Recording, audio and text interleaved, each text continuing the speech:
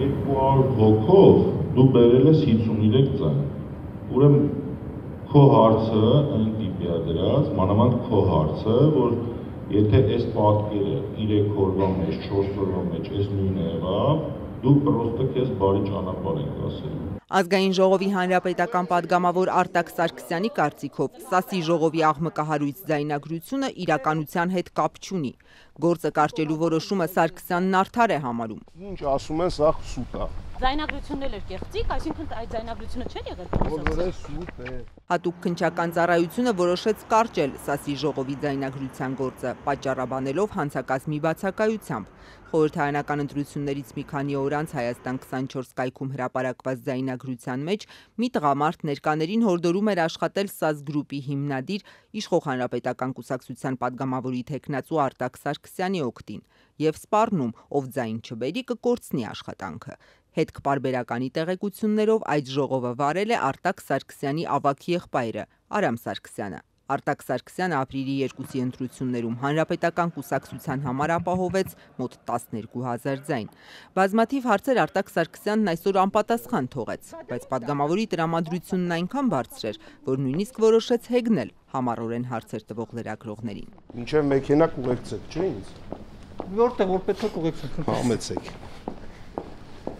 Երինան Փարիզ գնաց։ Ձեր եղբոր ձայնը նույնականացում արեց հատուկ քնչական ծառայությունը։ Զգուշ, Ազու ջան, կխփես ես։ Ես չեմ մտածում, անհանգիստ մի քո եղեք ինձ։ մտածում։ Պարոն Սարգսյան, ըստ էության իշխանությունը ամեն ինչ արեց, ամեն ինչ արեց գործը կարճելու։ Այս տղան հեսա կընկնի, մեղ չի, չեք մտածում ես մեր օպերատորի Բայց մենք մասին։ դες հարց ենք։ Բայց եկեք մեքենա չհասակ։ Սասի ձայնագրության փաստով հարուցված քրեական գործի կարճումը քննադատեցին շատ ընդդիմադիրներ եւ իրավապաշտպան կազմակերպությունների ներկայացուցիչներ։ Երկ դաշինքի ղեկավար անդամներից Էդմոն Մարուկյանն ազատության եթերում հայտարարեց. Հայաստանում օրենքը ընտրողաբար է կիրառվում։ Գործ են հարուցում, ինչ որտեղ նաև այո, ինչ որ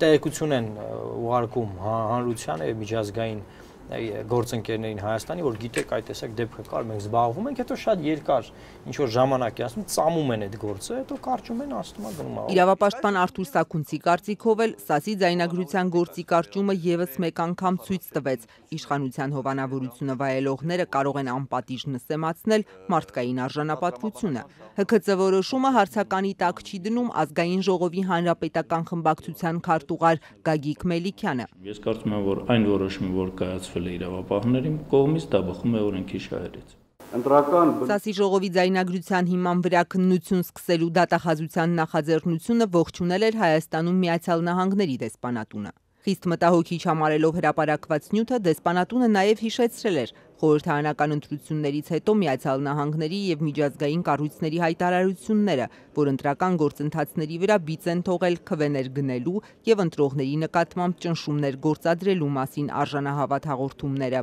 Հանրապետական Գագիկ Մելիքյանը միջազգային հանրությանը հորդոր ունի։ Հավաստի տեղեկությունների մասին նույնիսկ միջազգային իրավապահ իրավապաշտպան կառույցների կողմից հայտարարությունները կարծում եմ, որ պետք է ներկայացվեն իրավապահ մարմիններին եւ ներկայացման դեպքում համոզված եմ, որ համապատասխան քննություն կիրականացվի